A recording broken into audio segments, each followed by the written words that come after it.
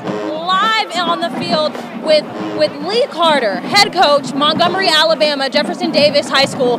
Now listen, we've seen some injuries tonight. Can you can you give us an injury update? Well, uh, in the first half, we lost our senior fullback, James Johnson, uh, dislocated patella tendon. He's going to be all right, though. He's in, uh, he's in the back right now. Doctors are looking at it, you know, so we're, uh, hoping for the best for him. Besides that, got a couple guys who uh, caught some cramps.